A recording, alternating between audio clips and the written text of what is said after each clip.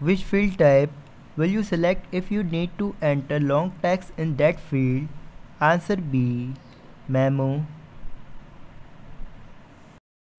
Which of the following is not a type of MS Access database object?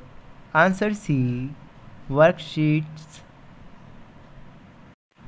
In which method we don't need to specify the field type and size while creating a new table?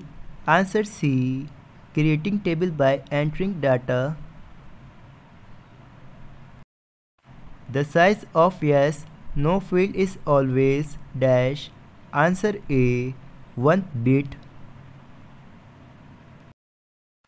The size of a field which number data type cannot be dash. Answer D. 16. How can you edit a relationship already established between two tables? Answer C. Both of above. Which of the following option creates a drop-down list of values? Answer D. Lookup wizards. What can be the maximum length of a text field? Answer B. 255.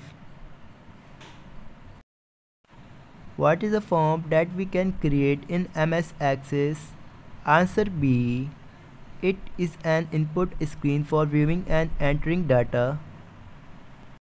Which operator is used to filter and display rows when all two or more conditions are satisfied? Answer C. All. The dash button on the toolbox display data from a related table Answer A. Subform sub report. The column in a Microsoft Access table are also called dash. Answer C. Fields.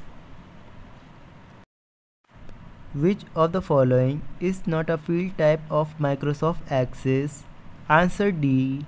Lookup wizards. The upper parts of the query design Windows in MS Access How to parts shows dash Answer B Fields name with relationships. Which feature is used to duplicate a control formatting? Answer C Painter. Which of the following is not a type of relationship that can be applied in Access database? Answer D all of above